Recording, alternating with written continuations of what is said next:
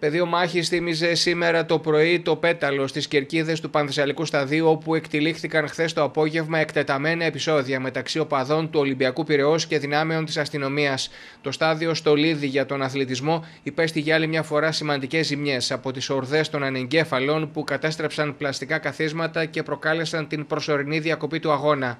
Πίσω μου βλέπετε το βόρειο πέταλο των κερκίδων του Πανθεσσαλικού Σταδίου. Εδώ βρέθηκαν χθες το απόγευμα οι περισσότεροι από τους 5.000 οπαδούς του Ολυμπιακού Πυραιός που ήρθαν στο Βόλο για να στηρίξουν την ομάδα τους. Το ταρτάν μπροστά από την συγκεκριμένη κερκίδα είναι γεμάτο σήμερα από σπασμένα καθίσματα, από μπουκάλια μπύρας, από αναψυκτικά, τα οποία εξφενδόνησαν οι οπαδοί του Ολυμπιακού στους αστυνομικούς κατά τη διάρκεια των εκτεταμένων επεισοδίων. Τα επεισόδια ξεκίνησαν στις καθυστερήσεις της χθεσινής αναμέτρησης της ομάδας του Βόλου με τον Ολυμπιακό. Ο διαιτητής διέκοψε τον αγώνα όταν χούλιγκαν τη φιλοξενούμενη ομάδα επιχείρησαν να εισβάλλουν στον αγωνιστικό χώρο. Οι δυνάμεις των ΜΑΤ έριξαν δακρυγόνα και χειροβομβίδες κρότου λάμψη για να τους αποθήσουν, με αποτέλεσμα η ατμόσφαιρα να γίνει αποπνικτική. Οι ποδοσφαιριστές των δύο ομάδων και οι φίλαθλοι με τα παιδιά τους έτρεχαν να γλιτώσουν από τα δακρυγόνα, ενώ οι συγκρούσεις των χούλιγκανς με την αστυνομία συνεχίστηκαν στον περιβάλλοντα χώρο του σταδίου. Μάλιστα υπήρξαν και δύο τραυματισμοί. Ένα 40χρονο παρελήφθη από το ΕΚΑΒ έχοντας τραυματιστεί από κροτίδα, ενώ ένας 23χρονο λιποθύμησε από τα δακρυγόνα. Και οι δύο μεταφέρθηκαν με ασθενοφόρα του ΕΚΑΒ στο νοσοκομείο για την παροχή των πρώτων βοηθειών.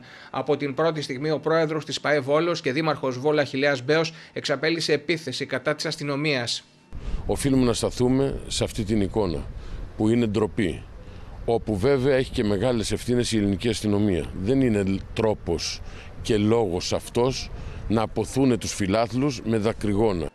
Στο στόχαστρο του Πρόεδρου του Βόλου, Αχηλέα Μπέο, βρέθηκε και σήμερα η αστυνομία μετά τα χθεσινά επεισόδια. Ο Δήμαρχος Βόλου αναφέρει σε ανάρτησή του. Ω Δήμαρχος και απλός φίλαθλος και όχι ως παράγοντας του ποδοσφαίρου, διερωτώμε ωστόσο για τη συνεχιζόμενη συμπεριφορά της αστυνομίας που στην προσπάθειά της να επιβάλλει την τάξη και την ηρεμία πυροδοτεί μεγαλύτερες εντάσεις και δημιουργεί σοβαρά προβλήματα στις τάξεις των υγιών φιλάθλων, ακόμη και μικρών παιδιών, αλλά και αυτών των ποδοσφαιριστών που υποφέρουν από την αλόγιστη και γενικευμένη χρήση χημικών και βομβίδων κρότου λάμψης.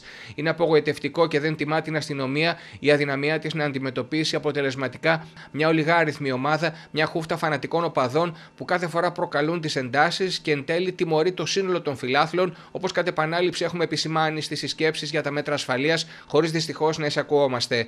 Λύση, επαναλαμβάνω, δεν είναι η γενικευμένη χρήση χημικών και κρότου λάμψης.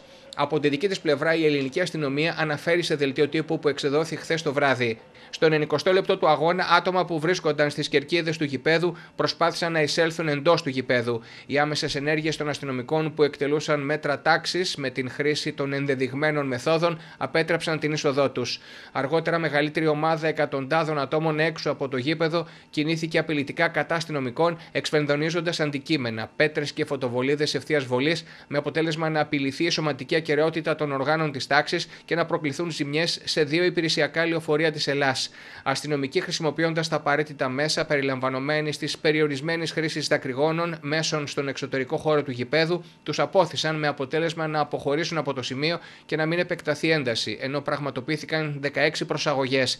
Στη διάρκεια των ελέγχων πριν την έναρξη του αγώνα, συνελήφθησαν 6 άτομα για παράβαση της νομοθεσίας περί βεγγαλικών καθώς και για κατοχή ναρκωτικών.